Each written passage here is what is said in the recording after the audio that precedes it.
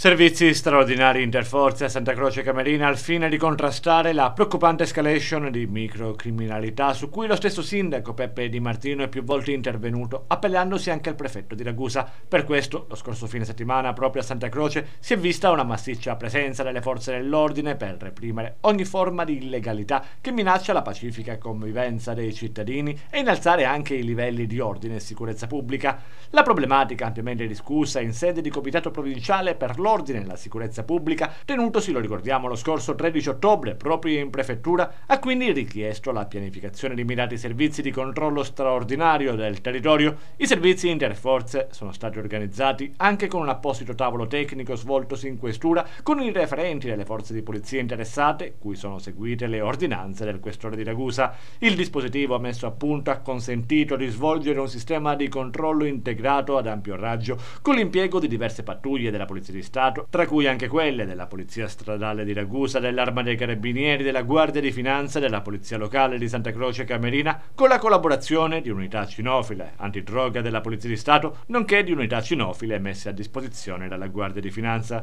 In relazione alle attività di specifica competenza, il Gabinetto regionale della Polizia Scientifica di Catania ha messo a disposizione della Questura specialisti a bordo di camper attrezzato con moderne strumentalizzazioni per effettuare il fotosegnalamento immediato di soggetti la cui identità non è certa e degli extracomunitari sprovvisti di valido titolo di soggiorno nel territorio nazionale, nonché di eventuali soggetti responsabili di reati. La complessa attività di controllo ha permesso alle pattuglie interforze impegnate di controllare più di 300 persone, 183 veicoli, elevare 41 contravvenzioni al codice della strada, sequestrare due veicoli e sottoporre altri due a fermo amministrativo, nonché di ritirare quattro documenti per veicoli privi di copertura assicurativa per la responsabilità civile.